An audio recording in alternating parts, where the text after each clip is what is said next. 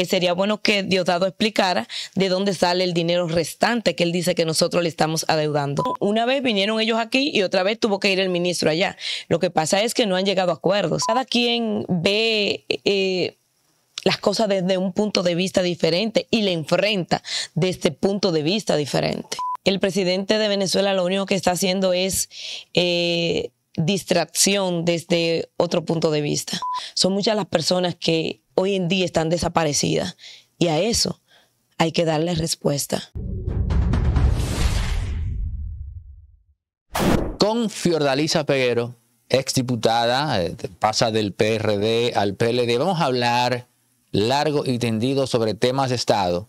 Y de inmediato el tema obligado es eh, el de Venezuela, que por cierto, al menos al momento de la afirmación de este capítulo, Eric Prince, el CEO de Blackwater y Academy, eh, colgó un minutero ahí de cuenta regresiva indicando que ya faltaba X cantidad de tiempo corriendo en tiempo real para que la situación de Venezuela cambiara. Pero, Fiordalisa, me cuentas que en San Pedro te conocen como, Hillary. Como Hillary, sí. Hillary.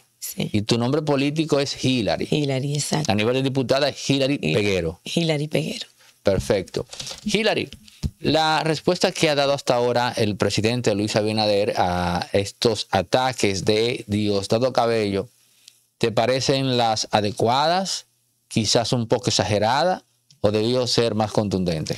Mira, creo que el presidente Luis Abinader con relación a, responderle a Diosdado eh, no debió responderle porque se estaría igualando a, Diosdado y, es un presidente, es un hombre de Estado, donde debió eh, responderle el, ministro de, de Economía, puesto que aunque Diosdado quiso eh, provocar al presidente Luis Abinader acusándolo directamente de que pague deuda, eh, que todos sabemos que sí existe una deuda, que aunque esa deuda fue del 2015, es una deuda estatal y por ende le corresponde al Estado, eh, no se puede pagar porque ellos tienen cuentas bloqueadas y hasta que Venezuela no, no resuelva sus problemas de sus cuentas bloqueadas, eh, ¿por dónde se hacen las transferencias? Porque los pagos se hacen vía transferencia. Además, nosotros sabemos que el ministro de Economía se ha sentado ha intentado sentarse varias veces para resolver y llegar a un acuerdo con el pago y, ha sido imposible llegar a acuerdos. Es decir, si nosotros como dominicanos no hemos pagado esa deuda, que obvio que la tenemos que pagar porque fue contraída por el Estado dominicano, es porque Venezuela ahora mismo no está en condiciones de recibir pagos. Ok, tú estás dando aquí en primicia para toda la audiencia de Impolíticamente Correcto y del país que la razón por la cual, esto es, eh, grave, voy, la razón por la cual República Dominicana aún tiene esa deuda, según tú planteas, no es porque el presidente Luis Abinader no haya decidido darle eh, continuidad de Estado y honrar el pago, sino que hay un tema burocrático que tiene que ver con el hecho de que Venezuela actualmente, fruto de las sanciones, tiene los pagos bloqueados. Bloqueados. Claro. Es, bueno destacar que Diosdado está diciendo que nosotros le debemos 350 y tanto de millones de pesos. De dólares, dólares. De dólares, donde solo le debemos 214 punto y tanto de millones de dólares. Es decir, que eh, sería bueno que Diosdado explicara de dónde sale el dinero restante que él dice que nosotros le estamos adeudando. Algo también que es bueno destacar, que esa deuda el, compromiso de pago fue en 25 años.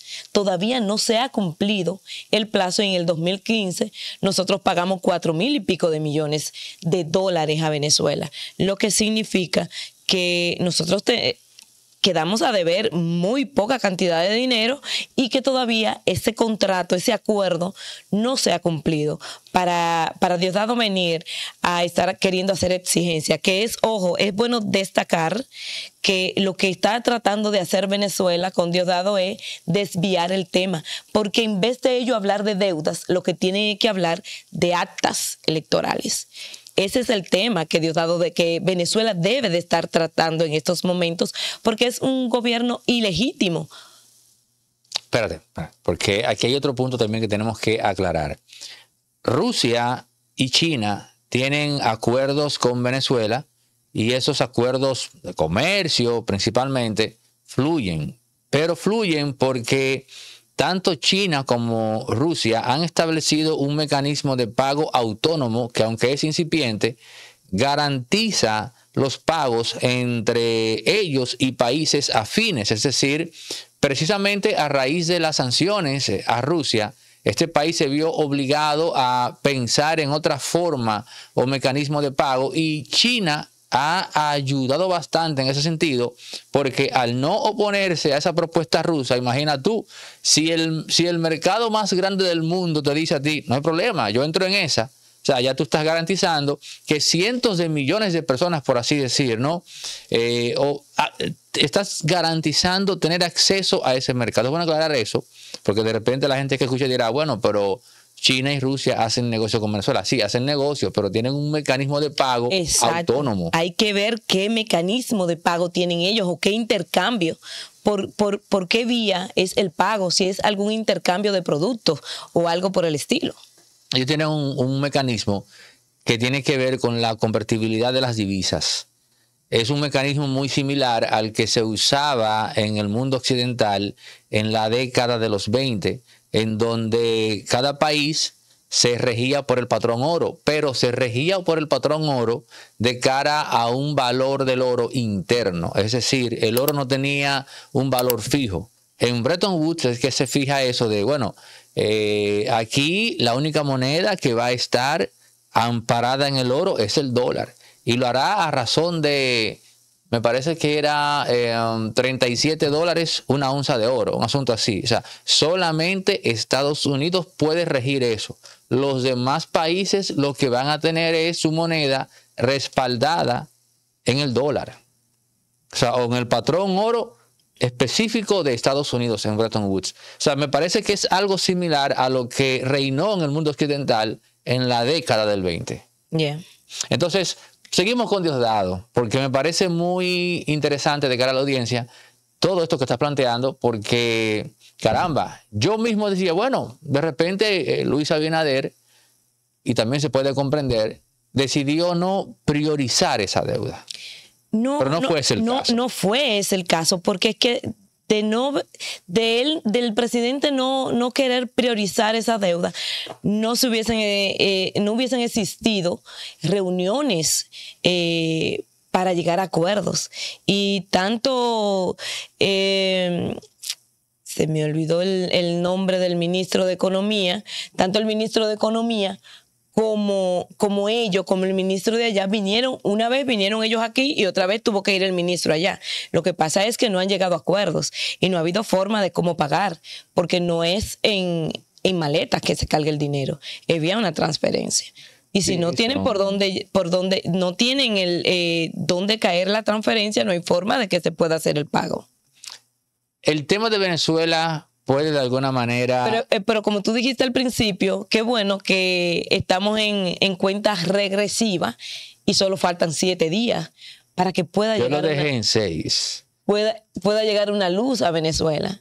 Todos estamos esperanzados en que de verdad llegue esa luz a Venezuela. Yo no sé qué va a pasar, pero debo confesarte que amén de que a simple vista el gobierno de Nicolás Maduro no, no evoque simpatía, también me da grima, me da grima la idea de que se haya arribado a un punto en el cual se use la fuerza con el consentimiento de todo el mundo o del mundo que observa para sacar a un gobierno. O sea, yo no quiero victimizar a Nicolás Maduro, sino que me da grima eh, pensar... Eh, lo que sí nosotros tenemos que defender, no importa cuáles sean los mecanismos a utilizar, es la voluntad del pueblo.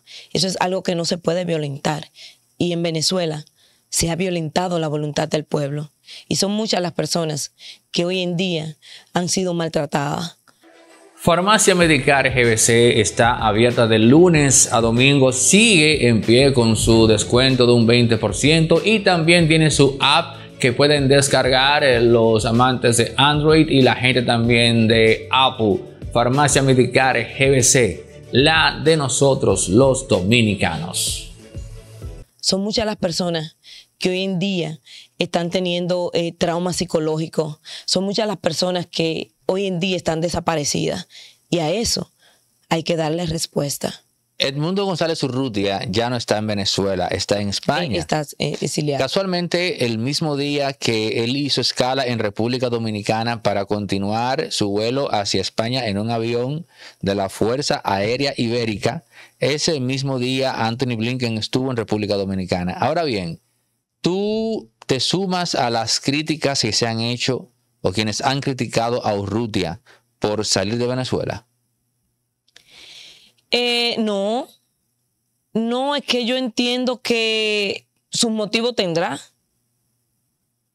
Tiene el motivo más importante y definitivo, que es preservar, preservar el bien supremo del universo. Que es la vida. ¿Sabes cuál es el bien? Bueno, ya lo dijiste. La vida. Su vida, pero, en este, haciendo un énfasis en el concepto de vida humana.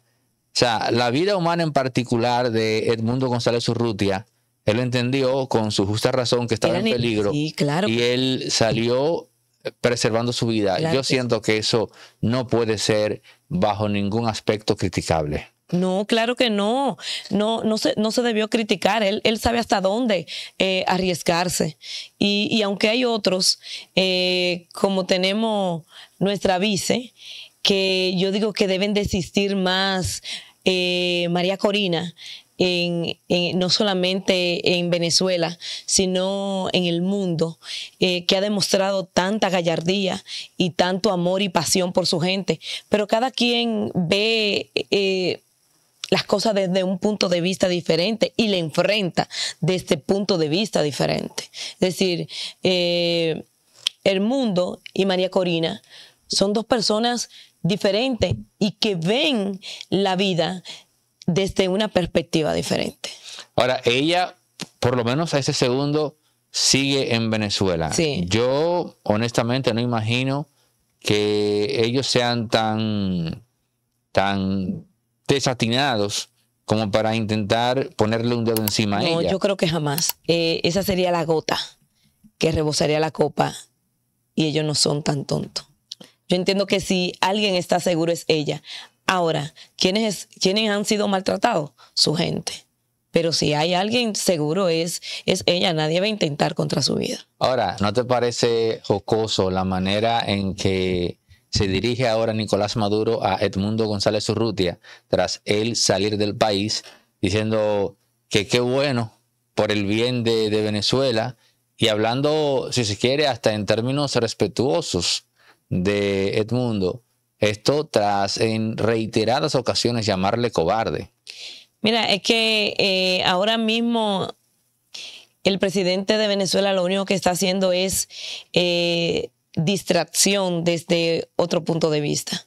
Eh, él sabe bien que, que no le queda otro camino que enfrentar su realidad y es que él es un usurpador y, ahora mismo anda buscando todos los medios de evadir su responsabilidad que tiene por, por, tener un gobierno ilegítimo, como te dije.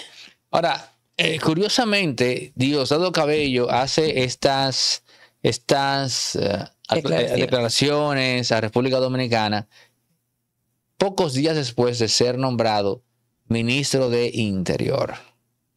Entonces, eh, uno no sabe si entre ese nombramiento y esas declaraciones hay algo que tiene que ver con lo que siempre se ha dicho, y es el poder real que tiene Diosdado Cabello en Venezuela nunca podrá tener más poder de lo que tiene el presidente Luis Abinader. Eh, no, no, no, me, refiero, en comparación al propio Nicolás Maduro. Claro. A Nicolás Maduro. Eh, mira, es que Diosdado Cabello es un emisario de, de, Nicolás Maduro. Y aquí lo que se está es jugando eh, a la distracción. Es para que hoy de seguro o mañana eh, Diosdado Cabello va, a responderle al presidente Luis Abinader y eso se va a convertir en un boomerang. Y quiera Dios que ya el presidente Luis Abinader no vuelva y le responda, porque lo que realmente importa es que se respete la voluntad de los venezolanos. Lo que realmente importa es que se respete la integridad y la vida de los venezolanos. Y esa es la atención que debe de tener Venezuela a nivel mundial. No que si le deben o no le deben, porque de igual manera se le va a pagar cuando ellos resuelvan su problema. Entonces, lo grave aquí no es la deuda, lo grave es que se respete la voluntad y la vida de la gente en Venezuela. Ok, vamos a ver. Precisamente de Venezuela está llegando gente, ¿no? Venezolanos a República Dominicana.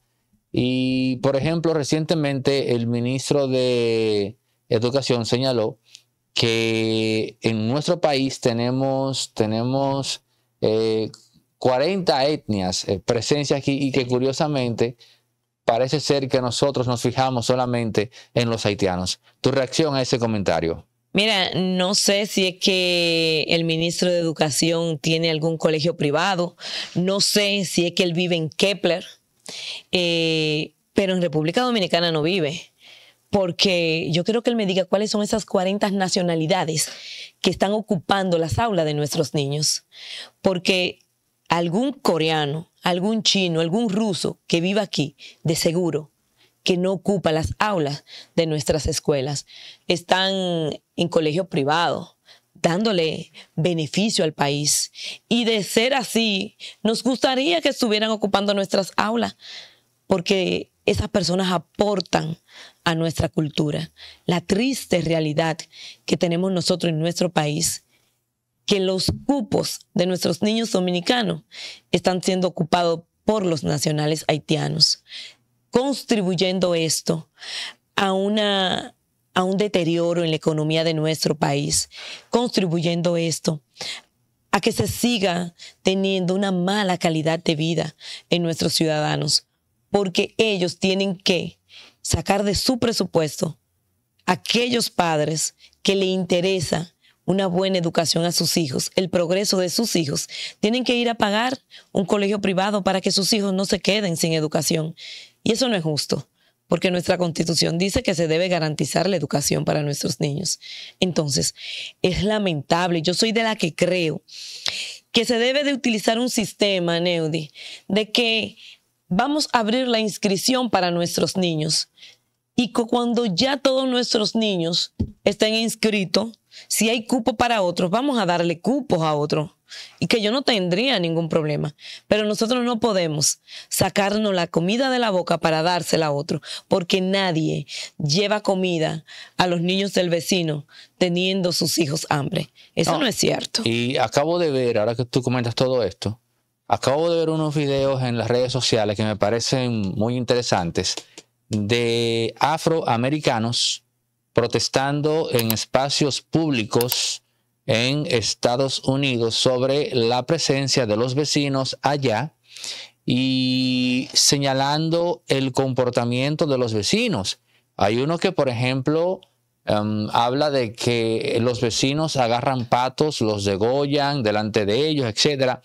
Y, ¿y por qué tú no mencionas los vecinos quiénes? Porque hay un tema ahí con, la estructura de, del Big Boss, ¿sabes? El que maneja esto. Me refiero al algoritmo como tal. Pero bueno, voy. Entonces, eh, oye, oye, escucha esto. Entonces, este afroamericano está diciendo, está acusando al, eh, al panafricanismo, que es una especie como de ideología que habla de la unión de los pueblos eh, de África, acusándolo de, de meter algo con lo que los afroamericanos no están de acuerdo. ¿Y con qué es eso? Considerar que los vecinos, en términos filogenéticos, según él, estén emparentados con los afroamericanos. Ellos dicen que no. Y, y lo que sustentan es básicamente el comportamiento, o sea, el comportamiento del vecino. Son culturas diferentes. Entonces él dice, él dice, y ¿sabe lo que dice? Por eso es que en ninguna parte los quieren. Todo lo destruyen. oye, oye, oye, por eso es que los dominicanos no los quieren. Y me parece fascinante que un afroamericano haya podido hacer esa, eh, eh, haya podido tener ese grado de diferencia y se diga, no, pero espérate, eh, tal vez venimos de África, pero nosotros, afroamericanos, no podemos estar emparentados con esto. O sea, Pero eso no lo digo yo, eso lo dice, Lo dicen ellos. Lo dice un afroamericano. Quizás ellos tengan, ah, eh, tengan alguna similitud y, y, y, exista algún tipo de parentesco. Lo que pasa es que eh, las culturas son diferentes. Aquella gente eh, tienen cultura diferente y de verdad que los haitianos son personas que no construyen, sino que destruyen. Y esa es su cultura. Siempre será más fácil en todo contexto, en todo ámbito, destruir que construir. De hecho, el proceso de construir lo que sea requiere una serie de variables humanas o de facultades humanas que el simple hecho de tú aglutinarlas ya marca la diferencia. Para destruir, tú no necesitas facultad alguna. Para destruir, lo único que tú necesitas es, por ejemplo, me paro ahora y agarro, qué sé yo, me lanzo sobre esta mesa y posiblemente se rompa en dos. Exacto. Ya eso es todo. Ahí no hay, más allá del absurdo coraje del momento, pero construir es algo enteramente cuesta, más complejo. Sí, cuesta, dedicación, esfuerzo, eh, coraje. Eh, valentía, son muchas las cosas que cuesta construir, de verdad que sí. Te vas de un partido que pasa por un proceso de desgaste, de adicción y que llega, eh, llega a, a, rozar entre que si mayoritario, minoritario, te vas al PLD, ¿correcto? Sí. Pero el PLD a simple vista está pasando también por un proceso de debacle que no se está advirtiendo, pero si no dan un giro drástico, van a caer en la franja del 5%. Humanamente, ¿cómo te sientes? Mira, yo me siento genial, de verdad que sí, mejor decisión. ¿Tú no sientes que te fuiste de Guatemala para Guatepeor? Mira, eh, yo cumplí una misión en el PRD y vine al PLD y no me arrepiento de haber venido al PLD porque aunque no gané, eh, demostré que aún cambié de partido, saqué la misma cantidad de votos. Es decir, hay un liderazgo en, en Hillary que es innato de ella y lo que pasa con el PLD va a depender del Congreso. Tenemos que hablar de un PLD con un antes y un después del Congreso. Vamos a esperar, todo va a depender que cómo nosotros terminemos en este Congreso y yo entiendo que estamos trabajando para salir airoso de este Congreso. Y el PLD no es la primera vez que llega a un 10% y ha sabido levantarse y ha sabido volver a ocupar la primera posición. Esta no puede ser la excepción. El PLD si quiere sabe cómo hacerlo. Ahora, si quiere, sabe cómo hacerlo. Bueno, gracias eh, Fiordalisa Peguero, Hilary Peguero, no, por estar acá eh, compartiendo tus impresiones y estos datos súper interesantes sobre el tema eh, o el, detrás de cámara de la petición de pago del cobrador, no Roque Payá, sino el cobrador Diosdado Cabello. Gracias a ti, Aneudi, por, por la invitación. Y antes de despedirme eh, de este programa, quiero, quiero sacar eh, decir que hoy se celebra el Día Nacional de la Prevención del Suicidio. Y, nosotros estamos envueltos en este país en muchas reformas, en muchos temas, y le estamos dando un poco de lado a lo que es la salud mental. Y es bueno que en el día de hoy eh, se reflexione, que el gobierno, que el Poder Ejecutivo pueda reflexionar de lo importante que es prestarle atención a lo que es la salud mental en nuestro país. País que tenía una tasa en el 2000 19 de, su, de suicidio de un 6% y hoy la tenemos en un 18%. Bueno, gracias y ustedes también por estar hasta la parte final de esta conversación. Suscríbanse si no lo han hecho, eh, comenten, den like, en pie, hasta el próximo.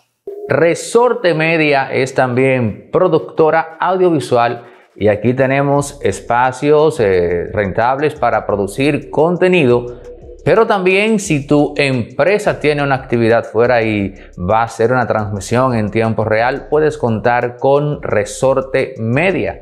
También si necesitas alquilar equipos para filmaciones de películas o eventos, tenemos grúas de 40, 20 pies.